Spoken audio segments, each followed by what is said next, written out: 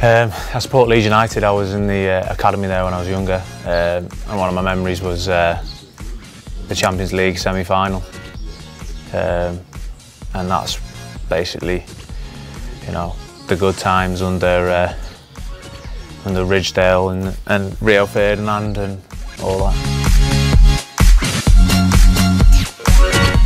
Uh, probably David Beckham. Bit cliche like, but that free kick against Greece is just top draw, wasn't it? So.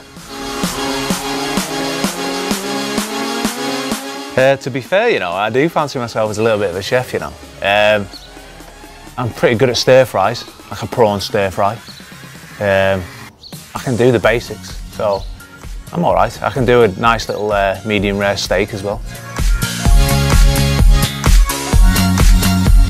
Best stadium I played at, I played at Wembley. Uh, I made my Premier League debut at St James's Park, which was unreal to be fair. The atmosphere was really, really good.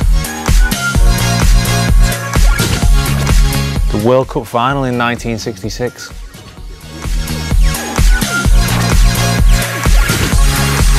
Never get too high and never get too low.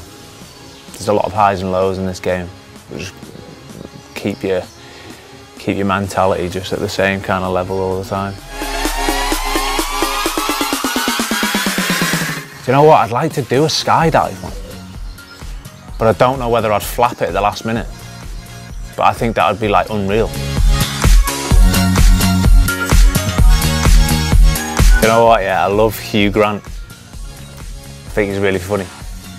But um, yeah, I'd, I'd, I'd probably say him. Yeah, Gary Barlow. Funnily enough, I don't know why, but a few people have said that in the past.